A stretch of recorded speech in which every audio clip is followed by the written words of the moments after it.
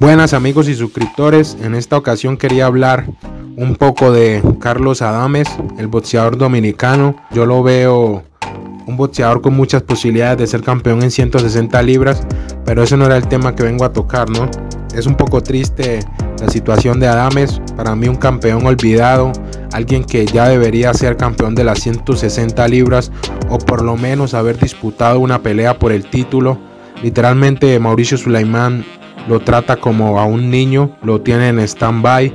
Eh, prácticamente él ya debía haber boxeado con Germel, con Charlo, no sé si es Germel, yo no recuerdo de la 160 su nombre, uno de los Charlo, pero como siempre Mauricio Sulaimán, no sé qué pasa en este deporte, la verdad yo siempre lo digo, los dominicanos para mí no apoyan su talento, no apoyan el boxeo, dirán, sí, nosotros, pero ustedes los que conocen de boxeo, los fan casuales que son los que deberían apoyar, eh, no tienen ni idea de quién es Carlos Adames, no saben ni siquiera que al boxeador le están haciendo malas jugadas, malas pasadas, como les digo, un tipo que hace de muchísimo tiempo se ha ganado su oportunidad por disputar el título y literalmente que lleva un año, dos años sin pelear, tratando de buscar peleas, tratando de que de, de buscar algún rival que no sale. Y lo que digo es que él no debería estar haciendo eso.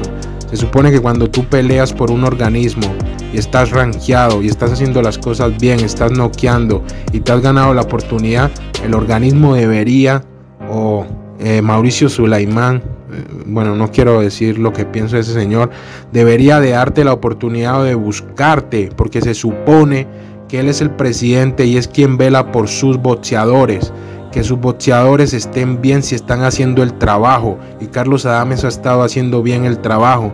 Pero ¿qué pasa? Ahí lo tiene, le regala cinturones que no existen, como si fuera un niño dándole bombones, así, etcétera. Y mi pregunta es, ¿cuándo lo vas a poner a pelear por el título de las 160 libras? ¿Cuándo vas a hacer que él haga la pelea que ya se ganó? Esa es mi simple pregunta. O no sé si es que a Mauricio Sulaimán se le hace muy difícil hacer su trabajo. O es que él tiene que vender primero a los boxeadores mexicanos y luego al resto. No sé, yo pienso que lo mejor sería que el organismo, el, Mauricio Sulaimán se desapareciera de este deporte y colocara a alguien que sí ame este deporte y que sí quiera hacer las peleas y que no tenga una bandera puesta encima en el pecho. Tú no estás ahí para poner o defender boxeadores mexicanos, estás ahí para poner y defender los boxeadores latinos. Espero que en algún momento él pueda hacer el trabajo que le corresponde como presidente de los organismos. Porque con Jaime Munguía sí lo hiciste muy bien. Le diste todas las peleas fáciles en 160 y fuiste y lo subiste allá a pelear con, con Canelo Álvarez, haciendo favores con... Bueno, es que ustedes saben lo que ellos hablan, los favores que se hacen entre Oscar de la Hoya, el Locowitz, eh, el Mauricio Sulaimán, el del otro de la AMB, el de la OMB, etcétera. O sea, esto, esto prácticamente como dice eh, Samson Locowitz, esto es un negocio. Ese es otro video que le traigo a él de Terrence Crawford. Y nada, gente, pues bueno, así va este deporte. Y ahí está Carlos Adames, no le dan ninguna oportunidad. Espere y espere. Y yo creo que nunca lo van a dejar pelear por el título porque Mauricio Sulaimán no lo quiere como campeón.